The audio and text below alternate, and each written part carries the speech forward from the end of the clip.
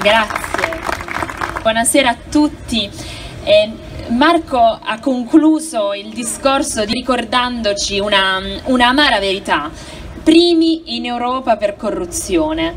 Taranto, la Magna Grecia ha portato la cultura in tutto l'Occidente, ha fatto la storia. Adesso dobbiamo noi accontentarci di questo primato. L'autorità nazionale anticorruzione parlare di Massafra non per il suo castello, per le sue fantastiche grotte gravine di tufo, non per queste meraviglie, ma si parla per la ditta che conosciamo bene, la ditta Venire, si parla di un capoclan assunto da questa ditta che prende la parola accanto all'amministrazione comunale e parla di raccolta differenziata. Non l'abbiamo raccontato noi, l'ha raccontato l'autorità nazionale anticorruzione.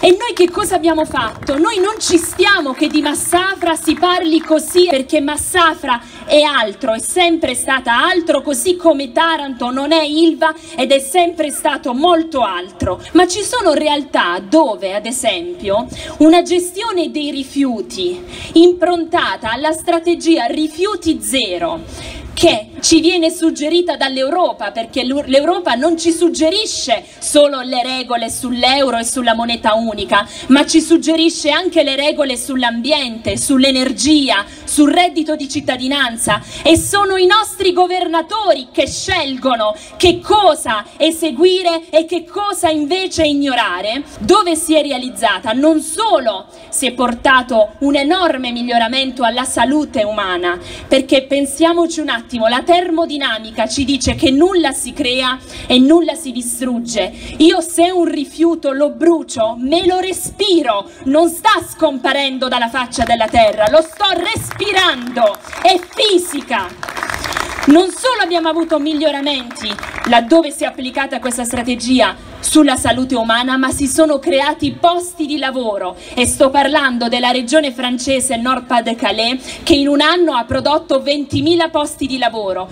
Ognuno di voi che adesso è qui che ci ascolta è importantissimo nel progetto del Movimento 5 Stelle. Noi non immaginiamo assolutamente una politica come quella che si è realizzata fino ad oggi fatta di persone che sono lì da 20, 30, 40 anni nei consigli comunali, nei consigli regionali, in Parlamento e un'altra parte di cittadino che è fuori, che grida, cerca di farsi ascoltare, scrive lettere, cerca di sensibilizzare chi è dentro. Per noi la politica non è fatta di persone che sono dentro e di persone che sono fuori. Noi la immaginiamo come un rinnovamento continuo, in modo anche che chi fa politica lo fa con la consapevolezza che poi tornerà a fare il cittadino. E quindi ogni decisione che prende, beh, ci pensa almeno due volte per ognuna di quelle decisioni perché sa che ricadrà su di lui.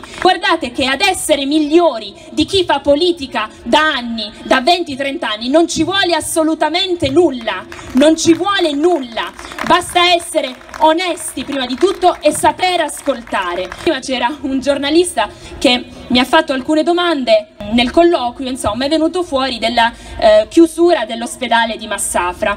Io gli ho fatto una domanda semplice, ammettiamo che è avvenuto gradualmente, hanno iniziato a chiudere reparto dopo reparto e poi si è chiuso, è accaduto così, il meccanismo è sempre lo stesso. Come vedete, queste cose si imparano in fretta. Vi prego davvero di sentirvi tutti partecipi di questo progetto perché prima o poi saremo tutti chiamati a fare politica per un periodo della nostra vita, ma anche nel momento in cui siamo fuori siamo sempre cittadini e come cittadini abbiamo il dovere di informarci e di informare e di seguire chi in questo momento è dentro le istituzioni perché faccia quello che serve al nostro futuro, che deve andare nella direzione della salute, del lavoro e del reddito per tutti noi.